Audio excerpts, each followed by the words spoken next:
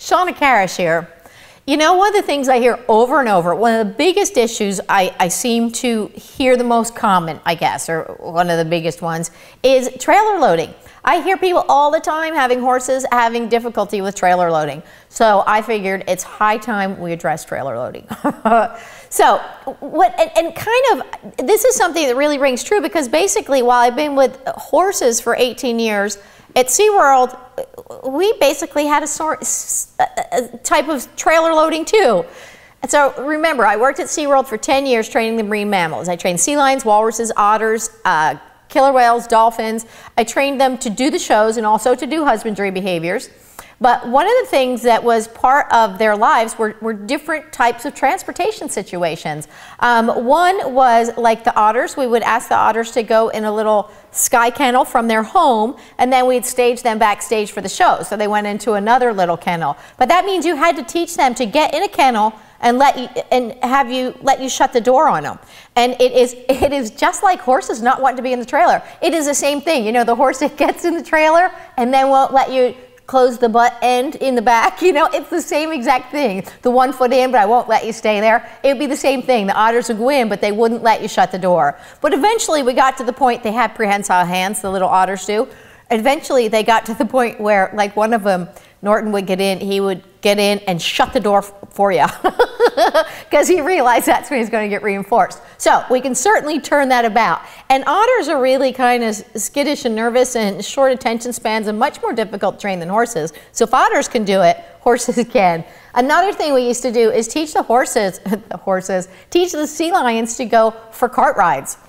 And this is, I've always said, sea lions and, wall, and boy, sea lions and horses to me are very similar. The, the, to train them feels very similar. Just their, their response, their, their nervousness, their you know building up trust from a little guy to they're, they're just very similar.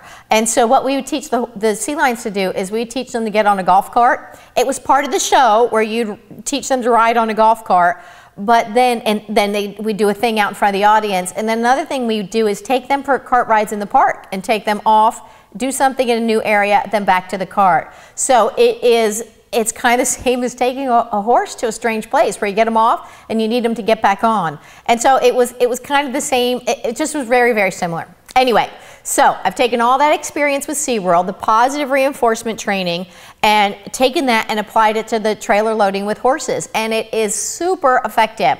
I've had tons of people tell me and write me letters and say this was the thing that this was the only way they tried everything and this was the only way that worked with their horses is utilizing the positive reinforcement training now positive reinforcement training what makes it so different than traditional training is there's actually something in it for the horse. You know you think about through traditional training why would your horse necessarily want to get in the trailer and go somewhere? You know just there's not necessarily something in it for them. You know, that may be avoiding, you know, things that happen on the outside, so they think I just better get in the trailer because it's safer in here than out there. Who knows exactly what they're thinking? But by utilizing the positive reinforcement, you can change their mind. You can get them to one, not only go in the trailer, but to stay in the trailer, to like being in the trailer, and to actually load themselves in the trailer. And I think that that is it's really important. And when you get that where they're making a choice to go in the trailer, it makes a really big difference when you get to a new place. They look at the trailer as something safe, something good, and a place that they will readily go. So it's really, really effective. You know, another thing that's really amazing about the positive reinforcement training too, I mean, not only is it really effective and the horses love it, they become invested in the training and interested in it, and they, they, they want to get to the, the, a good outcome as well. They want to learn how to solve the puzzle and how to get reinforced. But another great thing is they remember it for a long time. I even had Mint, he was gone for seven years and he came back and he remembered i just i even have a, a, a, video on youtube about it but he came out and after seven years he remembered everything to a t. So that is also a great thing. By utilizing the positive reinforcement you really get them solid about the loading and, and remembering even as time passed. I mean because let's face it sometimes we teach them about trailer loading and then if we don't go a lot of places typically which is common for a lot of people it you know we don't get to it and then all of a sudden we need to move or we, we need to take up to the you know the the clinic or something and they won't get on the trailer. With the positive reinforcement training, they remember a lot of that training. It's very easy to bring the tools out, remind them, and get them right back to, to where they were. So it's a very good habit to have, even if you don't plan on being somebody who trailers your horses very often. It is something that I think every horse should know, just in case it might be the case of an emergency or, or who knows what you know it's just it's just good practice. Anyway so it's it's an easy thing to do. It, i've had lots and lots and lots of people. I mean there's so many good stories. I can't even just pick one to tell you because it's been so highly successful for for people of all levels. You know there's people that are professional horse people that still you know, just couldn't get through to this one particular horse, to, to the backyard enthusiast, you know, the person who knows very little about horses. And each of them can get it so their horse, they can stand back, say, load up, and the horse loads itself on the trailer. So there's, this has been one of the really successful, great, well, it's all been really successful, but this, there's been so many cases of it that it, it has been um, a lot of experience in this from, from a lot of people and a lot of letters and a lot of responses. So it's a great way to go. So no matter what your level, it'll work for you too. Um, now, the, and, and the great thing is as you get through it, you also have a horse who starts to, the whole training process actually starts to improve your relationship and improve your trust. It'll improve your leading skills. It will, it just, it, it, it improves everything. So it'll definitely help you out and you'll have a solid loader at any point in time. So what we've done is put um, a couple videos together, different scenarios, and I'm really excited to be to have a chance to share with you this little video series. It's, it's a lot of people have been asking for it, so it's high time, and I'm glad that we can be getting it out to you. Um, basically, in the first video, we have two, two videos or DVDs. The first one, we're going to cover the principles of, you know, how you're going to get started, what you're going to, introducing your horse to the trailer, what to consider in looking for a trailer, what to consider when driving your horse in a trailer, um, as well as the, the steps to, to getting them to loading on the trailer, getting them to successfully be able to back off of the trailer safely and calmly, and then actually getting them to be closed up in the trailer, and then we go on to the shipping. So it's um, it's a great way to go and it'll cover it and answer a lot of questions. In addition to the, the prime, the, the main DVD, we also have included a couple, a couple of fun things.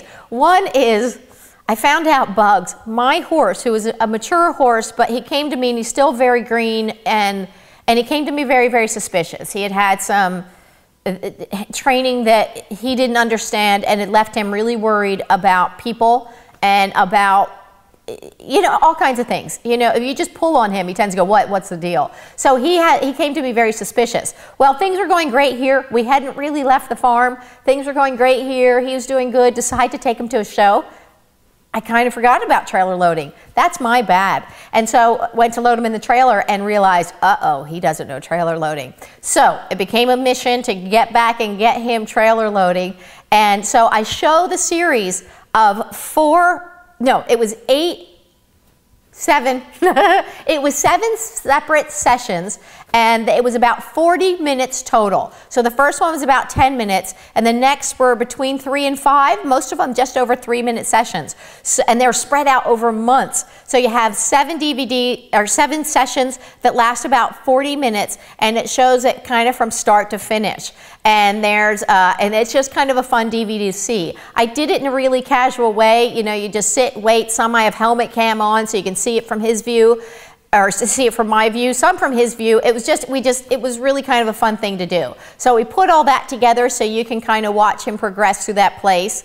And then we also put on there um, uh, the uh, one about just kind of driving with them in the trailer and things that you can look for to help them get acclimated to the driving process and actually getting used to some starting and some stopping a little bit, just looking for relaxation and building up a good association with the driving part. And also we go over the ramp and loading and unloading and kind of some little things you can do to help that the negotiating the ramp to become something that they're they're solid with and something that they they like to do because that's oftentimes what I find is real sticky point. They'll get in, then they're like, now I don't want to get out. And then I don't want to get in because I'll have to get out. So uh, kind of covered that so you can make that all a seamless, smooth process in your horsel before you know it be a solid loader.